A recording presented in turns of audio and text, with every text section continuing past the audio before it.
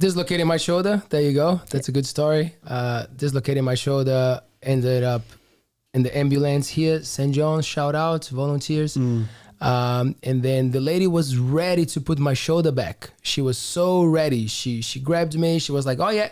And then when she was just about to go for it, she was like, "Have you done it before?" And then I was like, no. And she was like, oh, so I cannot help you. I was like, why not?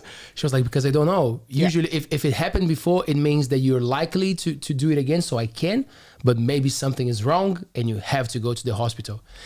And then I was like, uh, okay, it's a long drive. I was in my shorts because I, I, I dislocated by jumping off a cliff, amazing, to the water. So I had my shorts and nothing else. And then I remember these wise words from a friend, and she was like, uh, because she drove a, an ambulance before, and she was like, when someone asks you in how much pain you are, you always say a lot, like Yeah. nine or 10. So they give you morphine. I, I retract my statement. Mine was because it was rolled in a go kart and I broke my arm. Oh, fun. Look, let's go back to that. I wasn't driving either. Are we going Rainbows End, go kart, or are you talking in the country? Out here in the country, out at Whanuakidi, on a friend's property. Their son was driving me.